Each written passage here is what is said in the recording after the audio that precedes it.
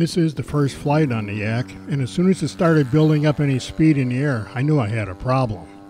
It kept nosing up like I was giving it up elevator, but I wasn't touching the elevator.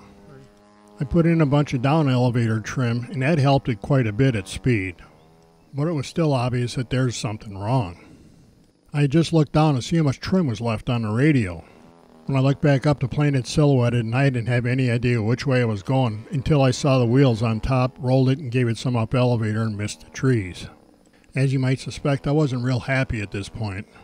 And I was going to be even more disenchanted with myself when I realized that I never checked the control surfaces and pretty much enabled this. The first time I talked to Flex Innovations, they suspected the stabs were the problem, but I thought it was CG or thrust line. And should be no surprise that because Quique knows what he's talking about and I don't, he was right. So as soon as I agreed with them, they sent me the stabs that they already knew I needed. That was mistake number two on my part. With the new stabs in place, we tried the maiden again. As I was making the climbing turn out from the field, I could already tell that the plane was a lot different with these new stabs on it. We still need to do a bunch of fine tuning and trimming on this, but it's flying a ton better. This just points out that if you have an aerodynamic problem, listen to Quique, don't listen to me. People that are around me a lot know that when I start doing touch and goes with a plane, I'm getting comfortable with it. The Yak still needs some refining in terms of trims and maybe the CG just a little bit, but it doesn't have any bad habits on landings.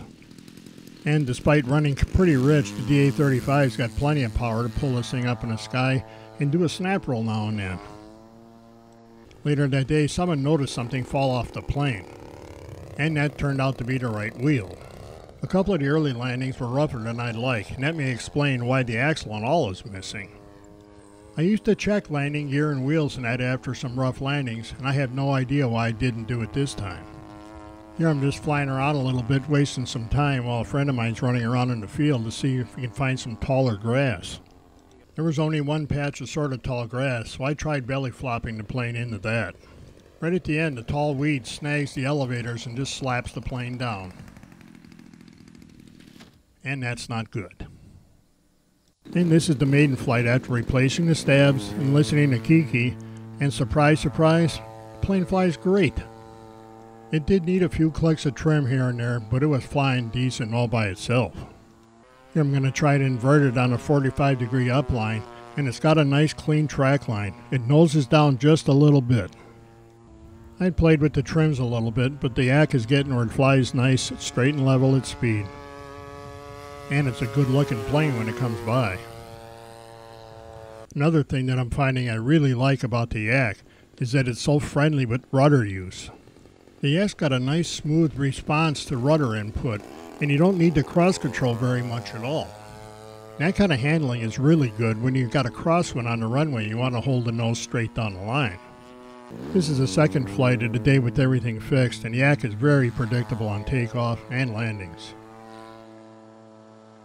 The Yak is by no means difficult to land, but it does like a little bit of throttle, at least that's what it seems like right now. Most of the time I was just bumping the throttle stick up a little bit and uh, the yak smoothed right out and landed great. Most of the time I fly all of my planes with all of the control throw I can get, but you want to be careful with that on the yak.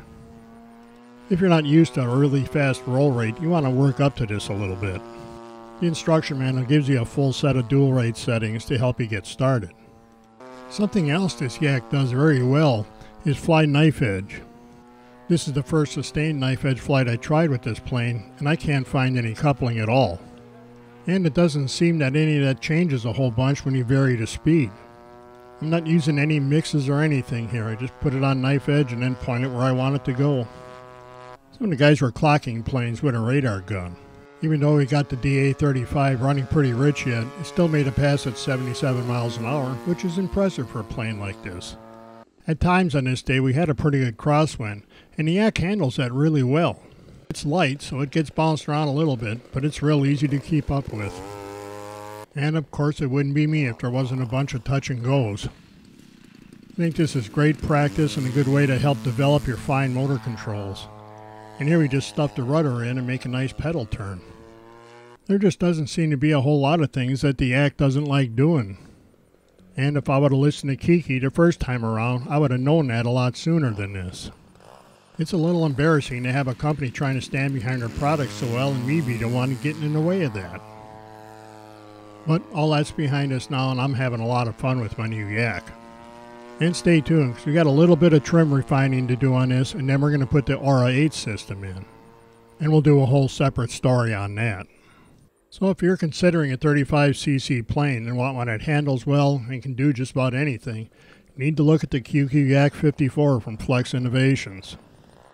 And no, mine is not for sale. Although I could use a few bucks to get some special sauce to make eating crow taste a little better.